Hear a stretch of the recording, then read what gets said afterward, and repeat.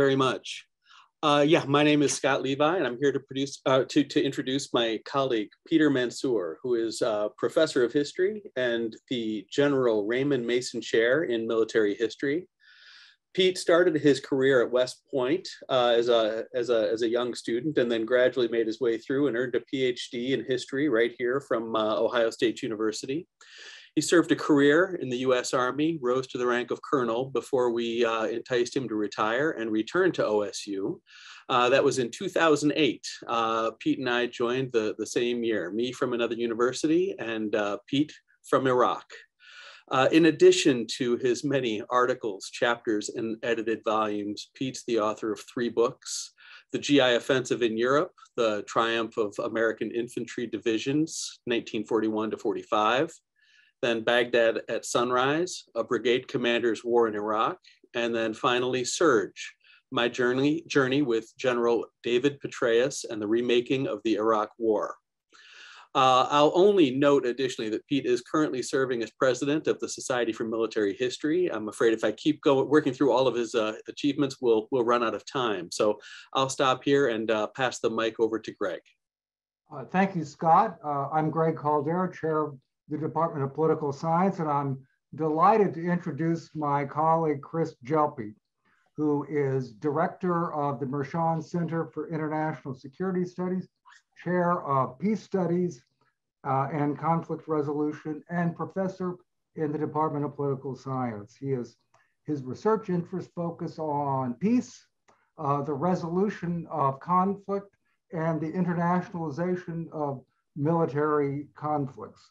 He is the author of many books on those subjects, uh, a whole raft of articles, and uh, a very distinguished scholar. And with no further ado, uh, I will turn our discussion over to our main speakers, Peter and Chris, with Peter going first. Okay, well, thank you, Chris, and thank you, Greg, for those kind introductions. Um, we're going to take a, just a few minutes up front to, to frame why we lost uh, the Afghan war and and what what we do now uh, going forward. Uh, and I would point to four major uh, issues with our war in Afghanistan. Uh, the first is we lost sight of the objective.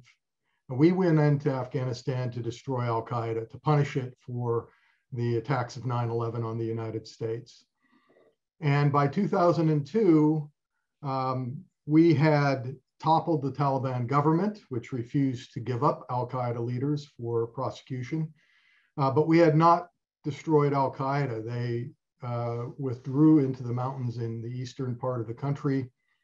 And instead of using uh, US ground forces to root them out of their caves and so forth, which would have been bloody and, and very difficult, but uh, was perhaps possible, uh, at the time, General James Mattis was a brigade commander uh, of a Marine Expeditionary uh, Brigade in Kandahar and, and, volunteered to have his troops go up into Tora Bora, into the mountains there, and, and fight Al Qaeda. We instead relied on air power and local militias to do the job, and they did not. Uh, Al Qaeda retreated across the border into the federally administered tribal areas of Pakistan. And of course, as we know, um, Osama bin Laden ended up uh, in a house in, Abbottabad, which is the uh, home of the Pakistani military academy. Whether the Pakistani Inter Services Intelligence uh, Agency had any sort of um, role in that still remains unknown, or at least it's classified. Um, but I would say it's probably likely. Um, and so at that point, what was our objective? Well, our our target was across the border now, and instead we turned this uh, this operation into a exercise in nation building. Um, we held the Loya Jirga and formed a new Afghan government, which was very, very centralized, unlike uh, previous governments in Afghanistan. And then we proceeded to try to remake Afghanistan into a modern society, a modern democracy with a capitalist uh, economic system. And um, as we found over 20 years, uh, that was difficult, if not impossible to do. And we, we just got wrapped up in this new mission, which was not the original mission, with very little discussion as to why we were doing it. So that's the first thing. Um, the second thing I think dovetails on that, and that is we lacked a local, a viable local partner. Um, if you look at how counterinsurgencies are won historically, they're normally won when you have uh, a viable host nation partner, and then you can add US capabilities or Western capabilities to help that local partner defeat the insurgency.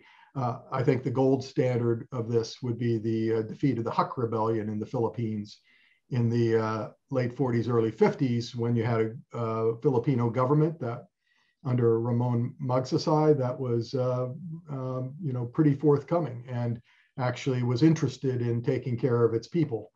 And so we added US capabilities to that and defeated the Huks. We were not really able to find that local partner in Afghanistan. The tribal militia, the tribal units didn't um, turn against uh, the Taliban the way the awakening, uh, Sunni awakening turned against Al Qaeda in Iraq. Uh, the uh, government in Kabul was fairly corrupt and, um, and not welcome uh, by the various uh, populations in the provinces.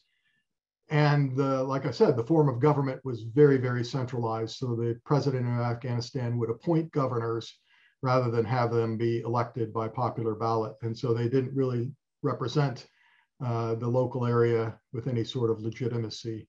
And I think as we, we have discovered, uh, the Afghan people were not all in in supporting this government in Kabul when um, after we left.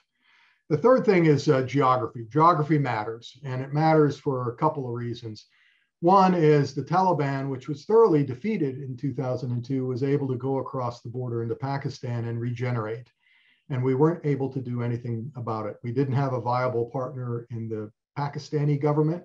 I think if you go to the dictionary and look up the, the definition of frenemy, there's a picture of a map of Afghanistan, of Pakistan there, uh, and maybe one of Turkey as well.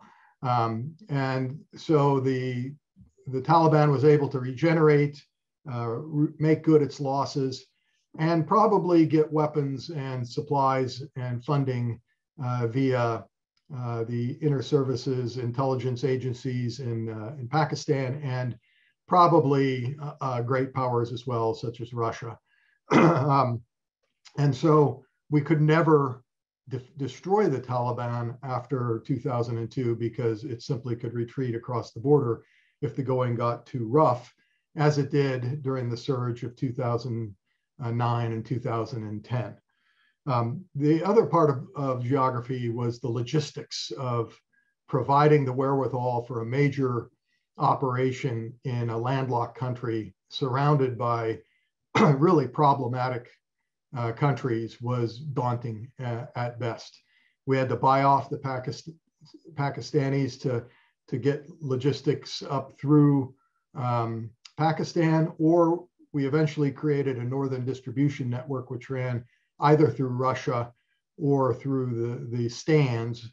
Um, and those also proved to be very problematic logistics routes for a variety of reasons. So this was not an easy place to fight. Um, and finally, uh, we passed over opportunities to negotiate. Uh, I've asked many, many people who are smarter on Afghanistan uh, than me, or, or, at least had more um, intimate dealings with the, the war. And I said, is there any point at which we could have uh, won or we could have negotiated with the Taliban to end the conflict? And I think there were two points. One was in 2002 when the Taliban had been defeated. Now, it would have taken a lot of foresight for the Bush administration to say, you know, yeah, you you housed Al Qaeda, uh, you gave them sanctuary, and we've just defeated you, but we really need you to be part of the solution to governing Afghanistan going forward. Let's negotiate. Um, at that point, they might have been able to. Uh, the other possibility was during the surge of 2009 to 2010 or 11 when we injected a lot of military forces into Afghanistan, and they did uh, a fairly robust counterinsurgency operation, albeit one that was not fully resourced. Um, the problem with negotiating with the Taliban then, even though we sort of had them on their heels, is President Obama announced that the surge was not open-ended, that it would in fact um, end within 18 months and we would withdraw those forces, uh, giving the Taliban really no reason to negotiate. They could simply wait us out, which is exactly what they did. Um, and with that, um, I look forward to uh, discussion on other aspects of the war coming up, but I will turn it over to Chris for his thoughts.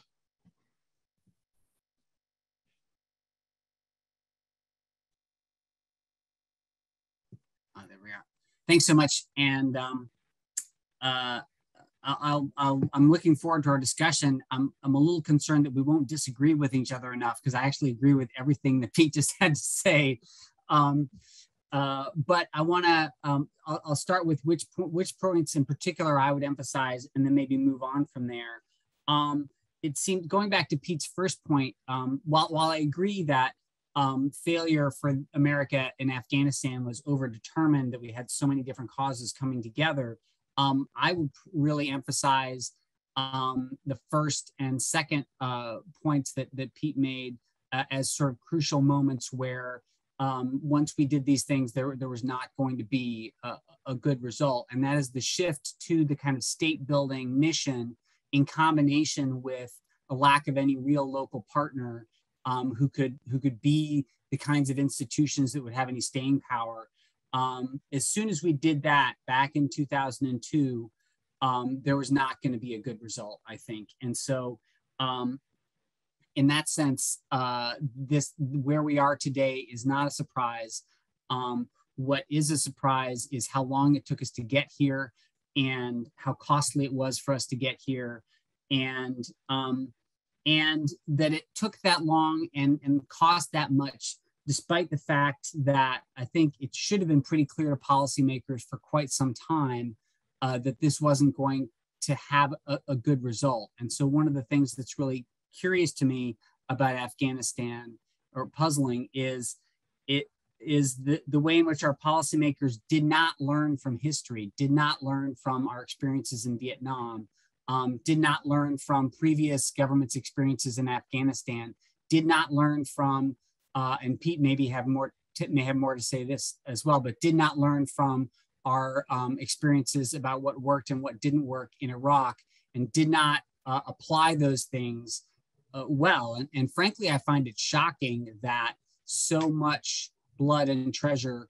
was lost um, without thinking about all of these lessons that were um, that were readily available to us. Um, and so I think you know uh, I think all both Democratic and Republican leaders have uh, have something to be held to account for for what is really um, uh, a tragic waste of uh, so many human and material resources.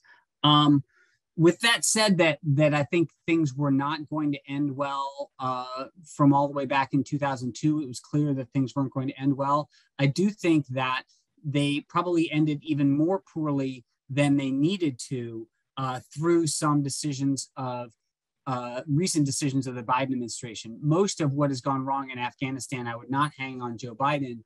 Um, but uh, the way in which there was such a rush to uh, to to follow through with this by the September 11th deadline, um, and to imagine that that could be done with so little preparation, so little attention paid to this prior to the uh, the attempt to withdraw, that uh, and the refusal to even consider, say, staying a few extra months so we could uh, try to sort out who we wanted to get out of Afghanistan.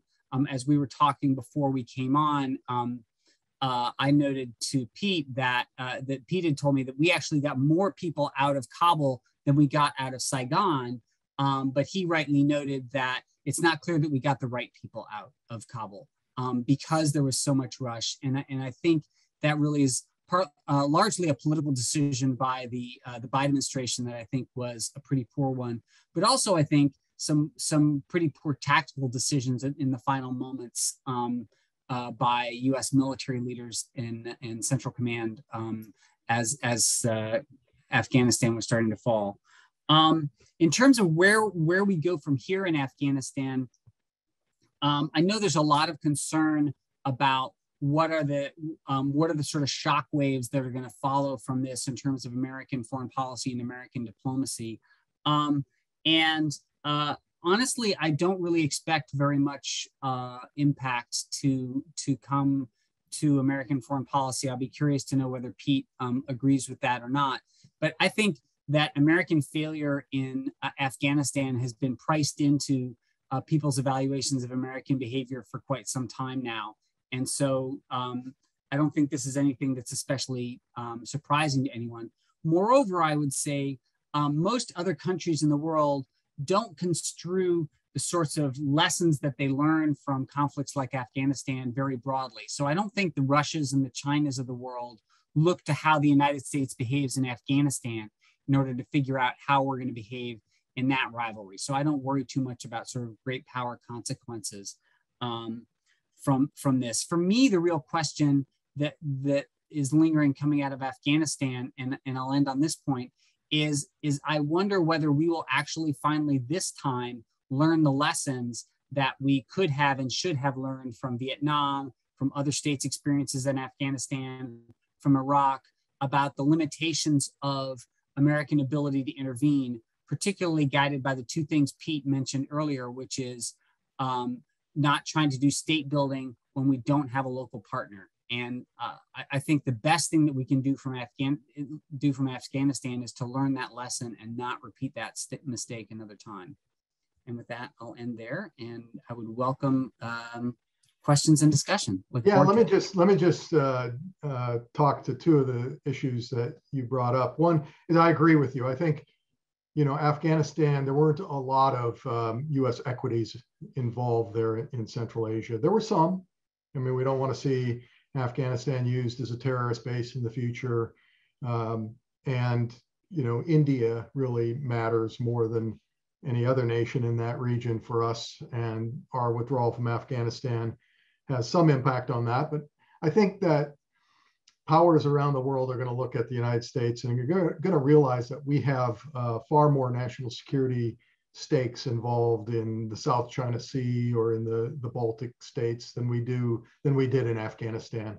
Uh, so this will have a short-term impact, uh, especially on our NATO allies, because we didn't do a good job in in reading them into the withdrawal either, and so they're a little bit miffed at us for that. Uh, but they'll get over it. I mean, they really have no choice other than uh, to have the United States as an ally unless they want to embrace uh, the Russian bear, which I doubt will be the case. Uh, the other thing um, is on the, the evacuation. I, indeed, uh, in Vietnam, we evacuated about 50,000 people. In the final two nights, we evacuated 7,000. We evacuated 123,000 in two weeks out of Kabul. This is something the American military does really well, logistics. Um, the the problem is, as you noted, is you know who who knows if we got the right people out. There's a lot of uh, special visa applicants who um, remain in Afghanistan and probably will never get out. Uh, there were probably some people who got onto our airplanes, even though there was an attempt to vet them. Uh, there were State Department people there uh, at the airport, you know, looking looking them up on terrorist databases and so forth. But there's probably some people there who don't deserve necessarily to, to uh, have gotten a seat. Um, if this had been done over a longer period of time, it could have been done better. Now, there are several reasons for that.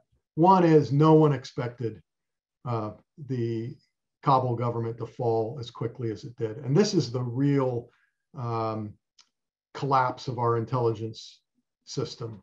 Uh, no one in, in, who was advising the president, at least no one we know, or at least no one who could convince him, uh, convinced anyone that the, the government in Kabul would, would collapse in a matter of just weeks after our, our withdrawal, uh, rather than remain uh, in power over months or maybe even a year or two. So we thought we had more time than we actually did. As a result, there were two decisions made. One is the military when they were given the order to withdraw, told the president, okay, we're no longer in here to win, we're in here to withdraw. Therefore, force protection is paramount. And for force protection reasons, we need to withdraw as rapidly as we can. because that will mean the fewest US soldiers that get targeted. And so they got out quick, including giving up um, uh, Bagram Air, Air, Airfield and uh, other places, sometimes even without the, the Afghan security forces knowing what was happening. Um, and that was successful. I mean, if, you, if the mission is to withdraw military forces, we did that uh, at the A plus level. Uh, but of course, then we lacked an airhead after that to withdraw uh, people friendly to us, especially when all of the government centers started to fall, ending with uh, Kabul itself.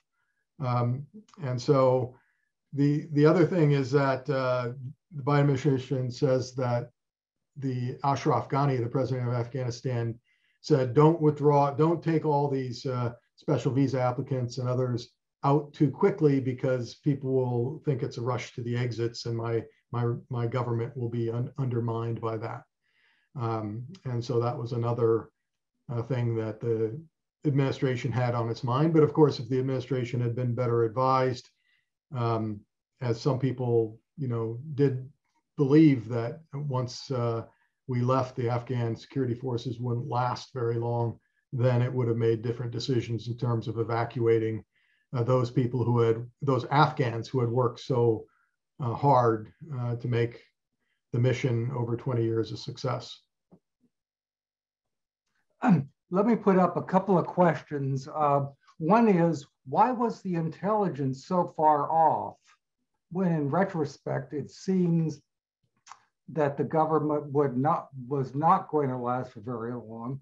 And second, to what extent did the Trump administration's the deal they struck constrain the Biden administration. And it might be worth mentioning just what the Trump administration did negotiate. Well, the Trump administration negotiated a withdrawal of all US forces by May 1st uh, of this year. So, what the Biden administration did was extend that deadline to first September 11th and then August 31st.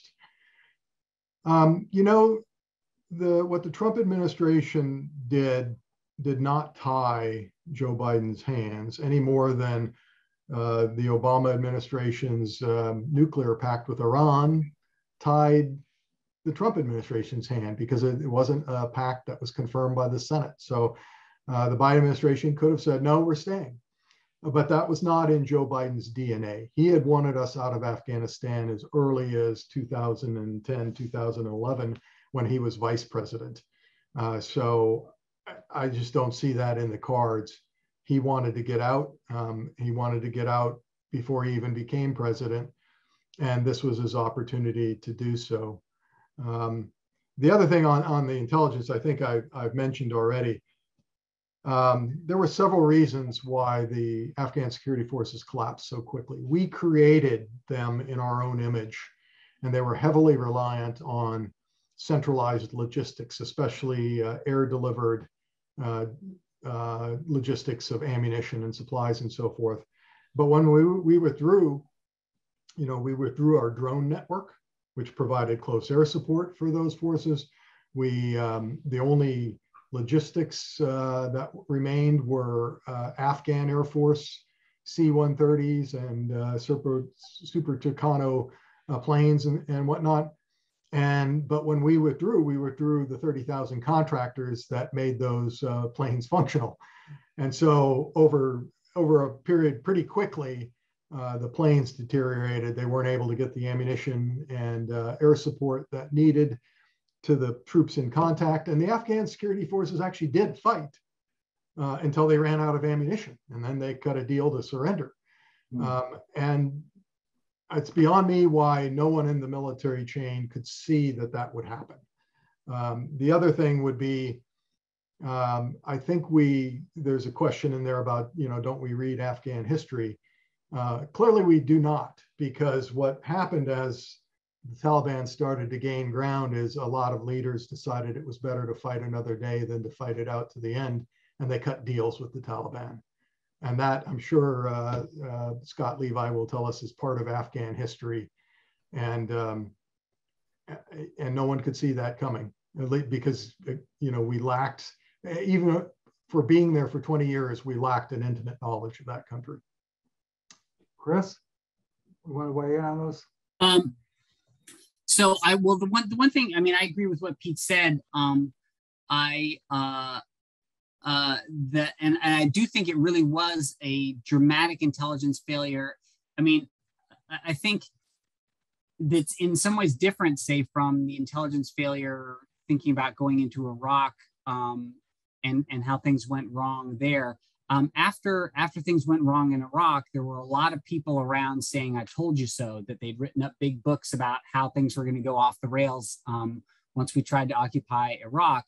Um, I haven't myself heard anyone come out of the woodwork to say "I told you so." Um, with regard to uh, with regard to the collapse of the um, uh, the Afghan government. And that to me suggests that it really was surprising to pretty much everybody, um, which honestly is surprising that it's, as, as Pete said, it's shocking to me that it shocked them, um, both because of the, um, uh, both because of uh, the sort of obvious limitations of, uh, of the um, having ammunition, but also as as Pete mentioned and as Scott is an is an expert as in the history of um, uh, uh, of Afghan politics that I would think that uh, that that they should have seen it. So I'd be curious to know Scott whether you feel like this fits in with patterns of some of the the previous invasions, whether we're talking Soviet or British or well, you don't do you you don't you don't do up you don't do the Soviets, right? You stop in '73. Well, uh, as, in response to the the um, uh, viewer's question, uh, unfortunately, not enough of our leaders are are reading Afghan history. But here at Ohio State, I'm happy to say we are teaching it. We we've got a course in Afghan history going right now, uh, and we've been teaching it since uh, shortly after I got here in 2008. Uh, there's um, it's often credited to, to Mark Twain. I don't know whether that's true or not uh, that history doesn't repeat itself, but it does rhyme. And there certainly are similarities uh, that we see today on the ground that are aligned with the experiences. You know, there were three Anglo-Afghan wars, really the experience of experience of the first Anglo-Afghan war, and then of course with the um, Soviet invasion, which lasted just a little longer than nine years, starting on Christmas Eve, 1979. And one of the greatest similarities I'll see, and, and it, it, I'll, I'll, point out, is um, the ability of outside interests to inject their own resources and their own interests into the Afghan playing field. Uh, so in uh, it was 19 or sorry 1839 to 1842 was the first Anglo-Afghan war. Uh, at that point in time, the Brits were able to go in, occupy Kabul, claim victory. Uh, and they held victory for, for a little while until outside resources started to um, uh, exert their own interests in, in Afghanistan. And that victory started to become really very shaky. And then in the end, there was a terrible withdrawal in, uh, in, in 1842, uh, the Death March uh, where they say there was only one, uh, Dr. Brydon was the, the, the maybe mythological, but only one survivor of the, the march as the, um, uh, the British encampment was, uh, was emptied out of Kabul and made their way to, to, to Jalalabad. Uh, where the Afghans united, they were divided among themselves, but they united against the Brits. We see that again in the 1980s, where um, the Afghans divided against themselves, united against the Soviets. And of course, in the 1980s, there you're talking about uh, this is Operation Cyclone, uh, or better known today, of course, as Charlie Wilson's War. Uh, it's a great movie if, you haven't seen it. Um, uh, and um, uh, there, the United States was one of those outside interests where we injected an enormous amount of wealth. It started pretty modestly, just a few hundred thousand dollars a year in, in, in 79 uh, or shortly after in, in early 1980. Uh, but then by the time we got to 1987, we were pumping hundreds of millions of dollars worth of resources. Uh, and that includes largely you know, military equipment, uh, anti-aircraft guns, all sorts of things, Stinger missiles going, going into Afghanistan. And so the Soviets weren't able to hold it. Uh, and these various interests across the country, again, united against that outside aggressor. And here for us, we've seen much the same. The question, of course, is where are those resources coming from? We know that many resources are coming from uh, local level uh, Islamic groups who are um, uh, interested in supporting the Taliban for their own particular re religious objectives. Others are coming from uh, more well-funded groups in the Gulf.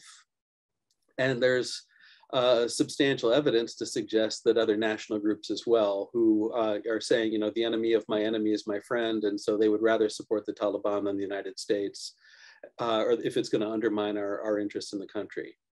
So I'll I'll uh, I'll stop there and just say, yeah, um, there are some some very very important lessons to be learned from history, and we do not appear to have learned those lessons very well.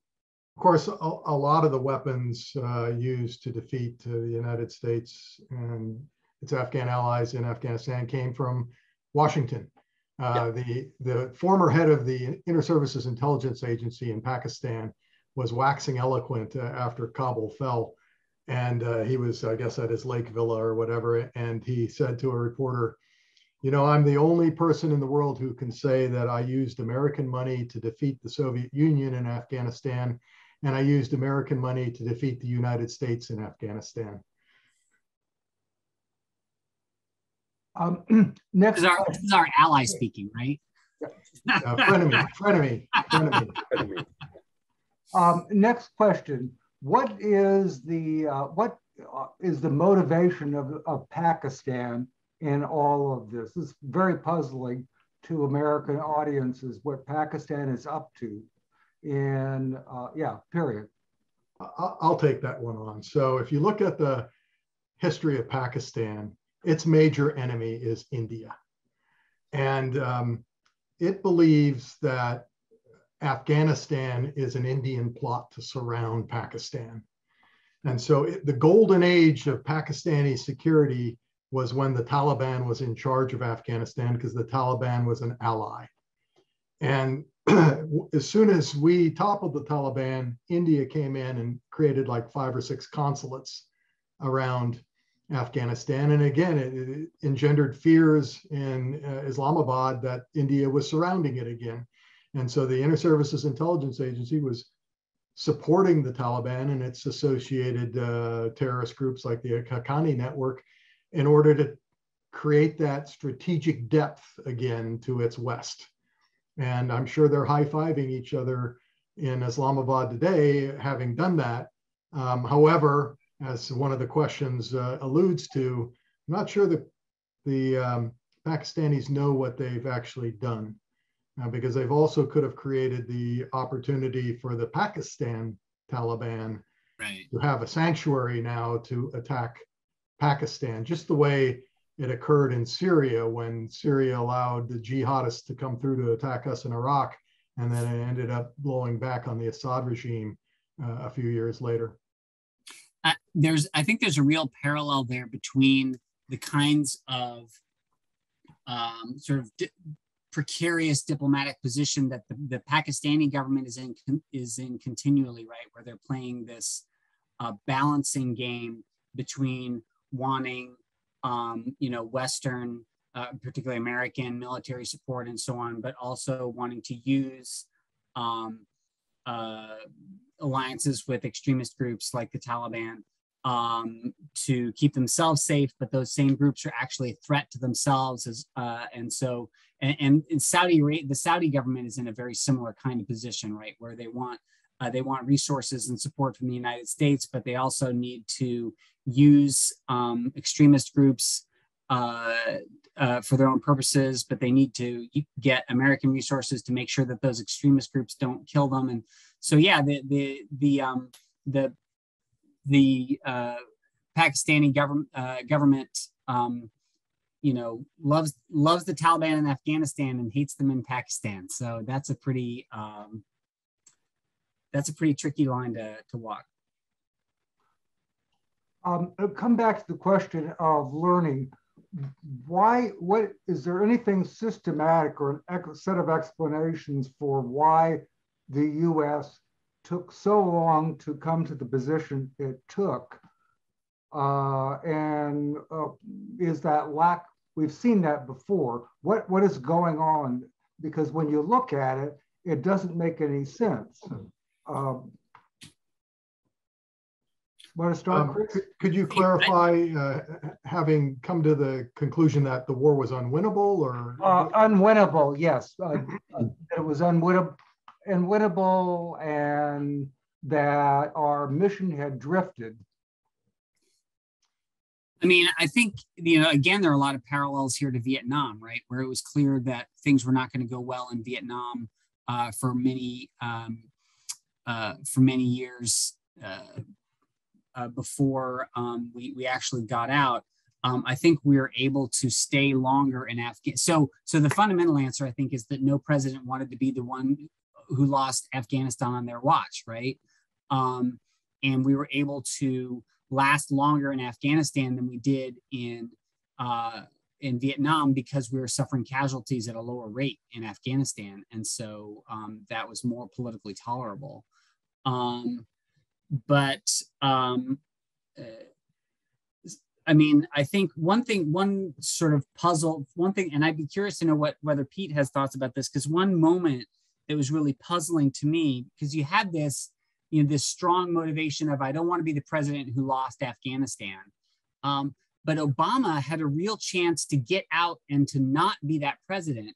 Um, the the the day after we killed Osama bin Laden, he could have walked into uh, you walked up to the podium and said, "Mission accomplished for real this time. Um, we got Osama bin Laden, uh, and you know that was our mission, and we're getting out." Um, and it's very very puzzling to me that he didn't find a way to do that because I know that the um, you know initially when he came in he wanted to try the surge uh, the surge sort of strategy in Afghanistan that it that it had that Pete had actually uh, had some success with um, in Iraq um, but by 2011 it was pretty clear that that was not going to work um, so why the, the biggest puzzle so in general nobody wants to lose this war. Obama had a chance to walk out a winner and he didn't. And I, I honestly don't understand it. I don't know, Pete, if you have any thoughts about why that happened. Well, I, I think it's because there were other people, whether you call them the, the foreign policy blob or the military blob or whatever, that had a different vision for Afghanistan. Um, you know, President Bush used to say this uh, of Iraq, that in the future it needs to look like South Korea. Uh, South Korea you know, we've been there for 70 years. We have 28,000 troops stationed on the peninsula. And there have been casualties among those troops over the years, but we, the American people, um, are fine uh, with having that many troops over there in East Asia, creates stability. the government of South Korea was a dictatorship for many decades and uh, eventually uh, became a, a, vibrant democracy and a vibrant with a vibrant uh, economy and um, so this is this was his vision, and that was the vision uh, for Afghanistan as well. If we could keep a modest amount, amount of U.S. troops over there and fund uh, the Afghan government uh, with, you know, twenty billion dollars, thirty billion dollars a year, which is a lot, but it's kind of a drop in the bucket of DoD's budget. We could uh, maintain a, um, you know, an Afghan government that was an ally in the war on terror. Uh, we would have those bases there in Central Asia to suppress ISIS-K and other terrorist groups.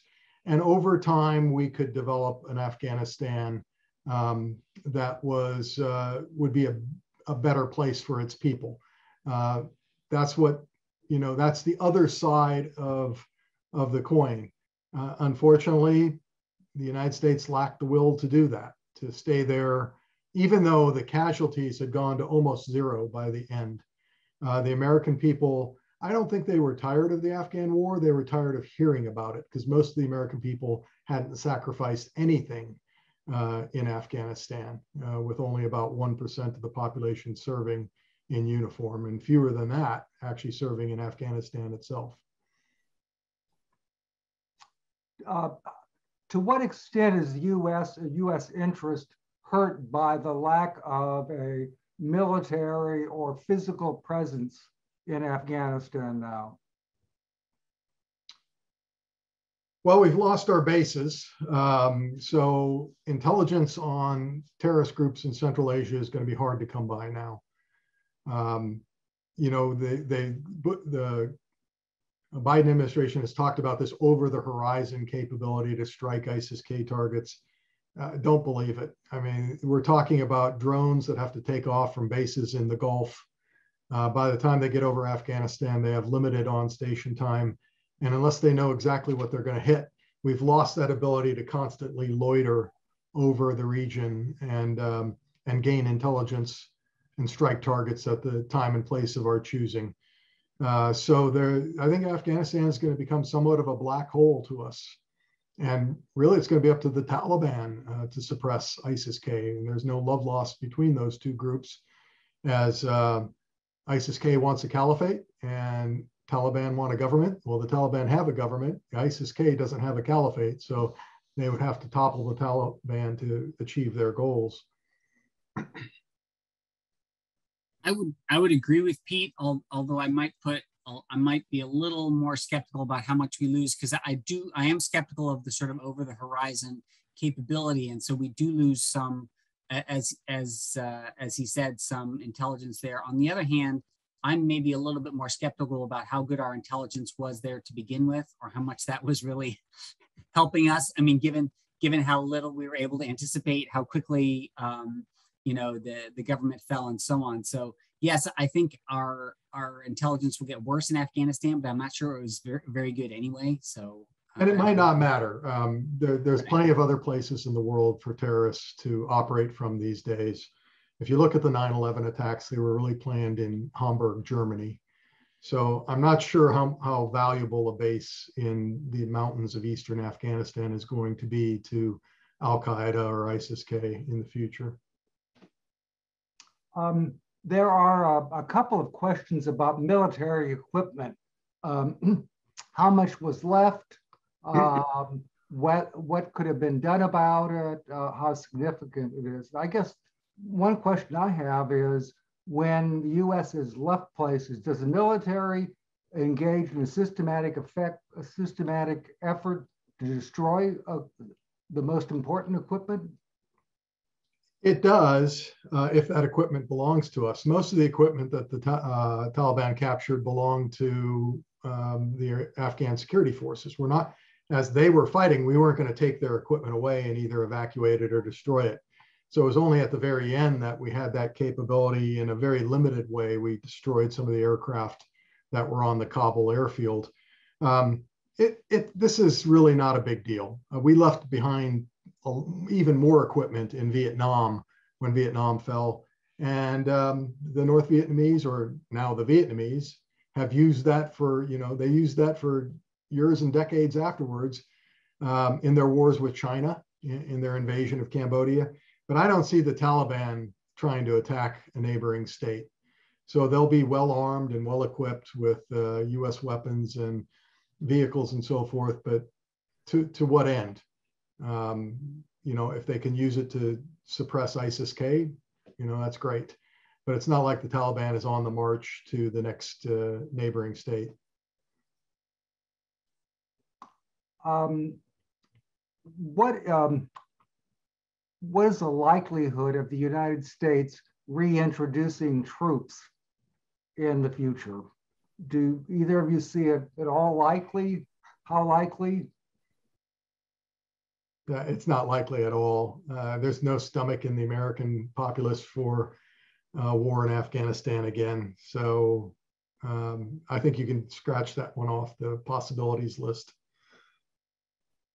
Chris? yeah, I would definitely agree. For the foreseeable future, I, I can't, I, I just can't imagine um, uh, a, a, president, you know, whether it's Biden or whoever comes next, um, saying that we're going to go get back in Afghanistan. Uh, yeah, I, that just seems like that would be so. I mean, you know, I, I agree with um, Pete that, that we we had reduced the casualty rate in Afghanistan to be quite low, but the war was still quite unpopular. Um, now, because there weren't as many people getting killed. It, it didn't, and, and because there wasn't a political party mobilizing around this issue, it didn't become a big issue in uh, in partisan politics and so on. But but the the war in Afghanistan was unpopular. Had been unpopular with the American public for for quite a number of years, and so um, I, I think we will not see us go back there again anytime soon. Um, uh, um, what would have happened if the U.S. had delayed uh, beyond September 11th? Would the U.S. have had to introduce combat troops? Would the Taliban have uh, begun to wage war against us? Uh, that's that's something I've heard talked about as a constraint of the Biden administration. Is there anything to that? Yeah, the, the Taliban were clear that they they would not attack American troops unless we overstayed the deadline for our withdrawal, and then they would. And they those troops were very vulnerable, being located just in one place in, Kabul, so they would have been very, very vulnerable to mortar and artillery fire. Um, it would not have been good. So, in that sense, President Biden made the right decision not to overstay our welcome. Chris? Um, yeah, I mean, I, uh, yeah, I basically, I, I, I, think Pete's right. Um, and uh, yeah, I'm not sure. I, I'm not sure I have a lot to add to that. I think that's basically yeah.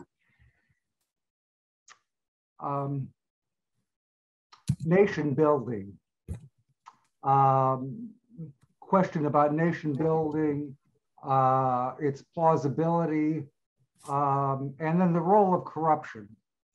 Uh, how, how significant was corruption in the ability of the Afghanistan government to take hold and the military to fight?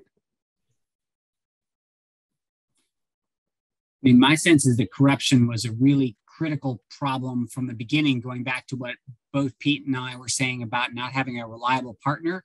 That's a lot of what not all, but that's a lot of what not having a reliable partner was. I mean, we poured um, billions, you know, hundreds of billions of dollars into Afghanistan, much of which just literally disappeared. Um, and uh, I also think, um, you know, you think about the the collapse of the government right at the end and fleeing, you know, the the president fleeing the country with a bunch of money, and uh, and that that I think reflects the same kind of, you know, um, that that uh, that the the United States and the resources of the United States in that country were constantly sought after um, as a uh, as a resource to fight for, not not to not to uh, help win the war, but to sort of line your own pockets. I don't know, Pete. Would you agree with that? You know, someone once told me that in the United States, you need money to gain power. And in the third world, you need power to get money. And I think Afghanistan is, uh, is an example of that. There were a lot of people lining their pockets um, in it for themselves or in it for their tribe or for their family group or whatever. Uh, there really wasn't I don't know, maybe Scott could speak to whether there was a sense of Afghan identity. Maybe there was at one point, but uh, civil war since 1978 seems to have uh, destroyed it, except as uh, except for the Taliban, which uh, you know, and their identity is different. It's a, a very much an Islamic identity. So um, yeah, corruption was huge, but really in the sense that to win this war, we needed a, a, government in Kabul that could be a government for all Afghans, and it never proved that it could be. And so it never got that support from the populace that you, counterinsurgents so desperately need. Here's a slightly different uh, angle. Discuss current Russian and Chinese interest and strategies in the region uh, and what they portend for the US for the US withdrawal.